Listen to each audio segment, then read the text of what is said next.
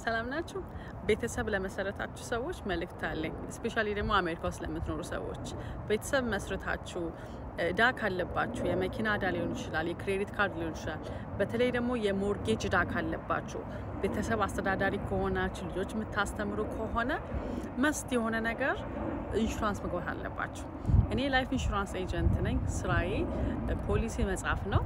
certified የ IUL product ኦችን እሸጣለሁ። ስራዬ ስለሆነ ብቻ ሳይሆን ይህንን የምነግራችሁ የሚገርም እረፍት ነው የምታገኙት።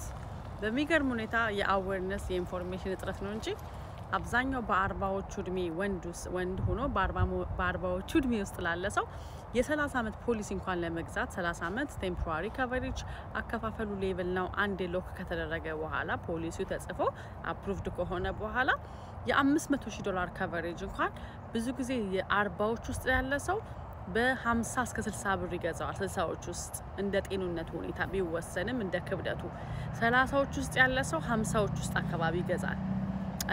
ሴት ልጅ ከሆነ ደግሞ ሰላሳዎች ውስጥ ላለች ሴት ብታምን ባታምን በሰላሳ ብር በአርባ ብር በማይሞላ ነው የአምስት መቶ ሺህ coverage የምታገኘው የአንድ ሚሊዮን coverage የምታገኘው።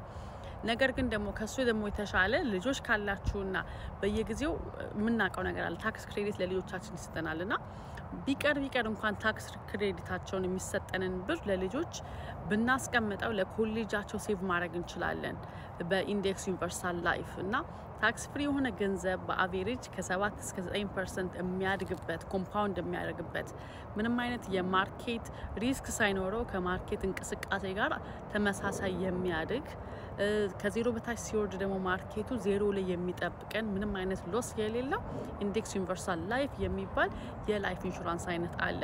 death benefit ኡን አሳንሳችሁ በሰራችሁት ቁጥር cash value ላይ ገንዘብ ያድጋል እና ከአስር ሀያ ዓመት በኋላ retirement ኣችን ላይ ብንፈልገው ለኮሌጅ ለልጆች ብንፈልገው እዳ ለመክፈል የተለያዩ ኢንቨስትመንት ላደረግ ብንል ያ የተቀመጠው cash value ይጠቅመናል።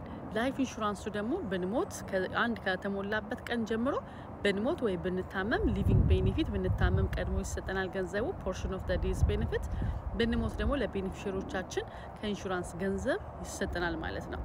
ብንኖር ረጅም ዓመት cash value የተጠራቀመው ገንዘብ retirement እንጠቀምበታለን።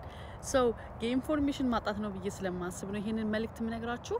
ስልክ ቁጥሬ አራት ሁለት አምስት ሁለት ሶስት ስድስት ሰባ ሁለት ዜሮ ሁለት ነው። profile ኤ ላይ ያለ contact አድርጉኝ። አመሰግናችኋለሁ። ሼር ስለምታደርጉትም አመሰግናለሁ። መልካም ቀን